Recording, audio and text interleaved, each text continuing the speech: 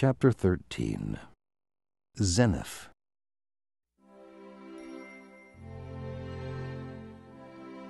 Zeniff and a group of Nephites left their homes in Zarahemla and traveled to the land of Nephi, where other Nephites had once lived. They found Lamanites living there.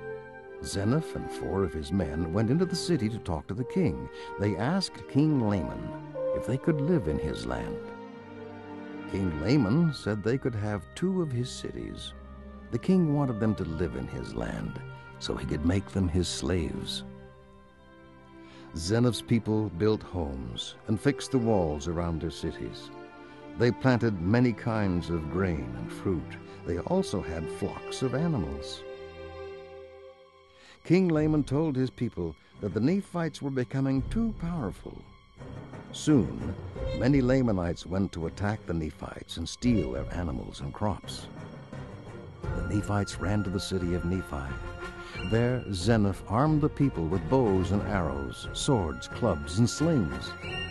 They went to fight the Lamanites.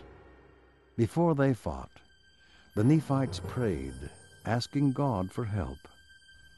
God blessed the Nephites with extra strength, and they defeated the Lamanites. After the battle, Zeniff put guards around the Nephite cities. He wanted to protect his people and their animals from the Lamanites.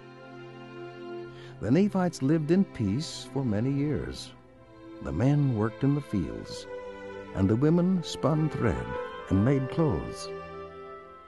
King Laman died, and his son became king. The new king sent his army to fight the Nephites. The Nephites again received strength from the Lord.